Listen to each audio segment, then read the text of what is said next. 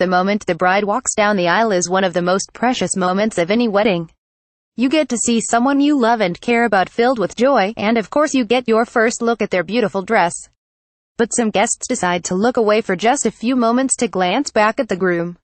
Ever since Katherine Heigl told us about her trick in 27 dresses, it's always worth seeing the emotion and happiness on his face as he sees his future wife.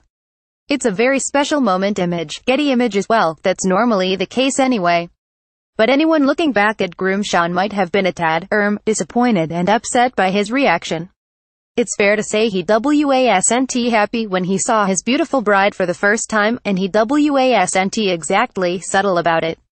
In fact he actually swore out loud, and loudly enough that it was caught on camera. He can he heard muttering OS asterisk asterisk asterisk when he first spots his bride-to-be. He didn't look happy image 9 so awkward. Image 9 at WASNT a traditional wedding, it was an episode of Australian TV series Married at First Sight. But it was still extremely difficult to watch, and many viewers were shocked by hit reaction. On the show two complete strangers who have been matched by dating experts tie the knot on their very first meeting. Pub manager Sean, 39, was matched with single mom Jo, 39.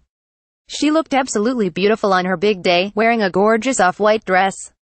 She looked beautiful on her big day image, 9, but he obviously wasn't happy with the expert's choice.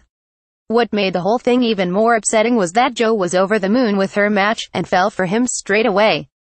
During the show, she said, my expectations have been met, and then some. She was so happy image, 9 to infinity and beyond. Winning. Jackpot. I've won the lotto. Since the programs aired, Sean has blamed his rude reaction to an old heartbreak.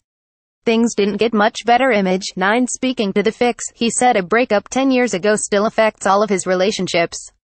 Unsurprisingly, viewers at home were shocked by the extremely awkward moment, and the rest of the show.